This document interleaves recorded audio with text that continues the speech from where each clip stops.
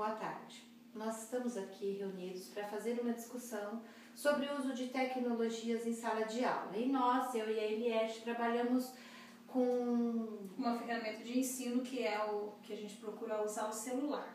Porque nós vimos que os alunos estavam ficando muito dispersos é, em relação ao uso do celular. Então procuramos essa ferramenta que eles têm, todo mundo tem, traz para a sala de aula para poder é, realizar um trabalho com eles.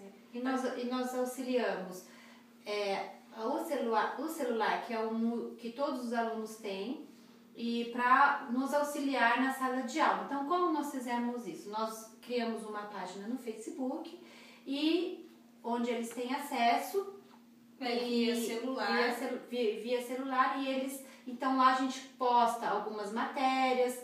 É... É, consegue fazer com que eles saibam que no outro dia vai ter prova, que sempre a gente deixa um alerta nessa página do Face. Ah, mas aí, aí eu acho que virou uma bagunça, né? Eu, eu não concordo, porque primeiro que eu acho que celular não é ferramenta é, não de, é. de ensino. Não, celular Segundo, é só vira bagunça. É motivo de entretenimento entre os alunos. MS, é, não, mensagem, WhatsApp, Nossa, aquela coisa horrorosa de. Entendeu? Aluno chega lá com aquele troço fiado assim no Exatamente. Horroroso. Na minha sala de aula, quando eu entro, a primeira coisa que faço é recolher os celulares. Então, veja bem. Não é Então, eu vou dar um exemplo para vocês. É. Então, por exemplo, eu estou trabalhando no sistema solar, certo?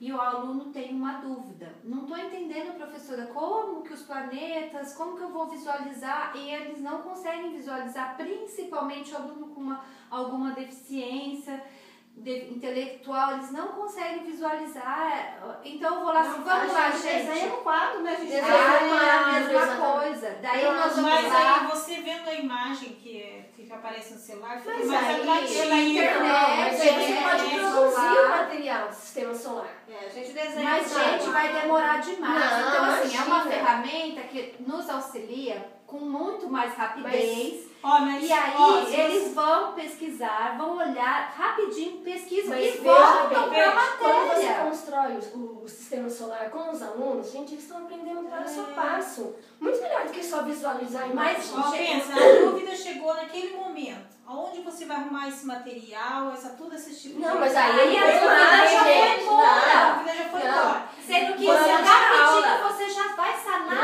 a Não, de aula. seu aluno. Gente, Mas a é- sala de aula é o espaço de, de ensinar e aprender. Não ficar com o celularzinho, É, nada não, disso. Não, não, mas você vai- vai usar o celular, veja bem, você vai usar o celular na hora da dúvida e vai tirar essa dúvida na hora que eles. Não, mas aí a Teve gente a um dúvida. plano para montar um sistema solar. No dia, a Mas- gente marca um dia, cada um traz um papel, Mas isso já diz. e gente monta- é dúvida, Não, gente. Mas essa dúvida Olha. já passou, ele já esqueceu e Não, você a também. dúvida vai pra casa como tarefa. Não. Porque em casa, gente, tarefa de casa. É sagrado. Olha, é sagrado. Ela não senta, ela é o momento dele, Não, sem bagunça, ele não vai fazer conversa, porque ninguém hoje em dia mais faz tarefa. Faz. Mas Na- na minha.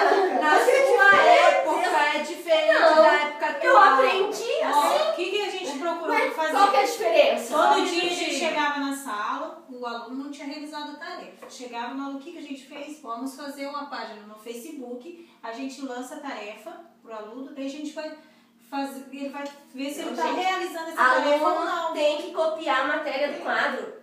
Aluno tem que Sabe? pegar livro, tem que ler. Usar o livro É. didático. Fora que a internet ele vai, aproximar as, gera- as gerações. A nossa Gente, nem geração tudo que tá na internet com a presta, hein? geração deles. Não, então não. é uma Sala de aproximação. aula, gente, é sala de aula.